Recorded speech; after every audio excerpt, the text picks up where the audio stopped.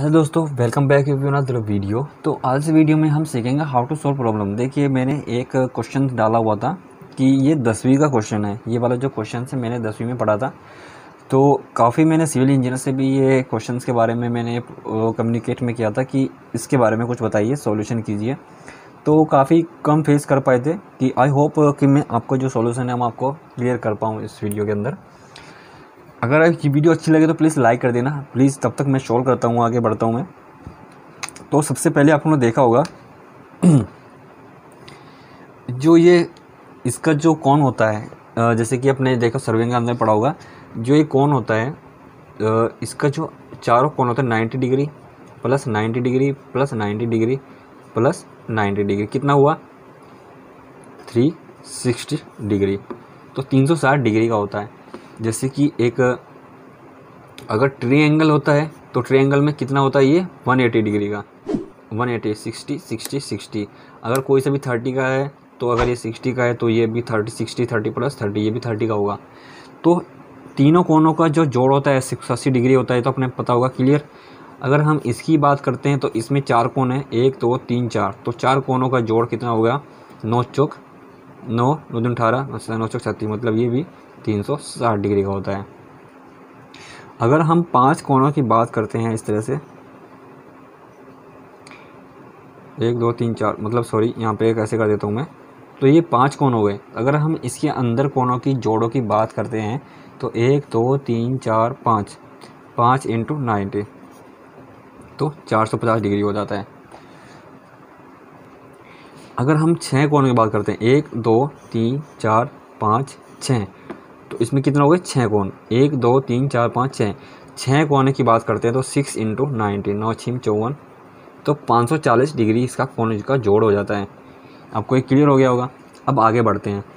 तो इसमें जब भी हम, आपने देखा होगा, एक ट्रेंगल होता है, त्रिभुज होता है, जब हम इसके फेस जाते हैं, या फिर कोई एक लाइन होती है, कोई लाइन होती है, अगर हम इसको ऐसे खींच के देते हैं तो अगर हम इसके चारों कोनों का जोड़ याद देखेंगे तो इसमें ये कौन इस कोण के बराबर होगा। ये कोण इस कोण के बराबर होता है। अगर कोई पैरेलल है, ये कोई दो पैरेलल लाइन है, अगर हम इसकी बात करते हैं, जो ये कोण होगा, ये वाला जो डिग्री होगा, इस कोण के बराबर होता है।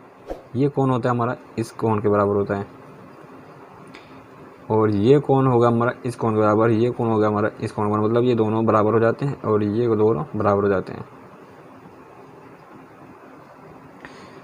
ठीक है? तो ये कौन सॉरी इस कौन बराबर होगा? ये वाला इंटरनल कौन के बराबर हो जाता है? आपने टेंथ में पढ़ाई होगा इस तरह से।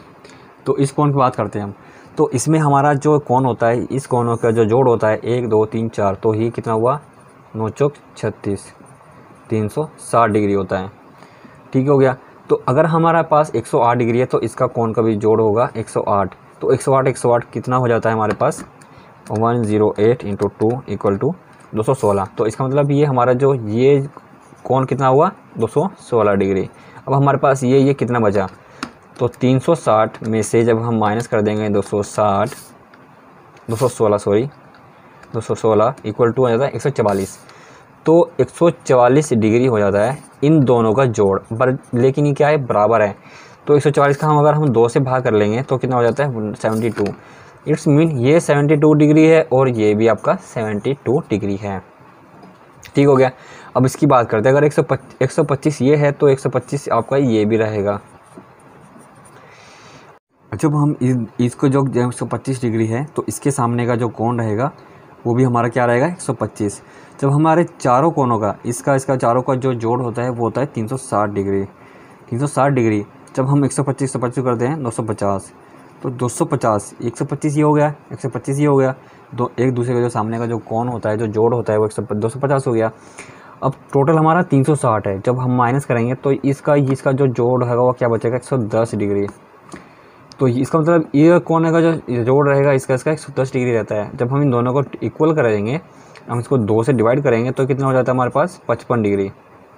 तो ये भी हमारे पास पचपन डिग्री रहता है, और ये भी हमारे पास पचपन डिग्री बन जाता है। ठीक है? और जब हम इन तीनों कोनों का जब जोड़ करेंगे तो वो होता है हमारे पास 180 डिग्री।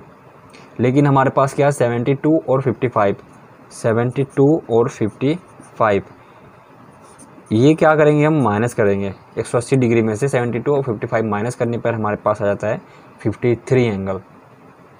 ठीक है? तो फिफ्टी थ्री डिग्री अब हमारे पास एंगल बच जाता है ये सी का। तो इस तरह से हम तो फिफ्टी थ्री ये हो गया और फिफ्टी थ्री हमारा ये बच जाता है। अगर हम इसकी इसकी कौन की बात करते हैं तो फिफ्टी थ्री फिफ्टी थ्री एक सौ छः डिग्री। एक सौ छः जब हम तीन सौ साठ में से एक सौ छः माइनस करते हैं तो चार और पाँच, दो सौ चौवन। ठीक है तो ये हमारे पास दो सौ चौवन डिग्री हमारे पास बचता है। तो जब हम दो सौ चौवन से भाग कर लेते हैं, दो तो एक, दो, सात। तो एक सौ सत्ताईस डिग्री ये बचता है हमारे पास, और एक सौ सत्ताईस डिग्री ये बचता है। ठीक है, बट लेकिन हमने क्या पूछा था? ये वाला, इंटरनल वाला।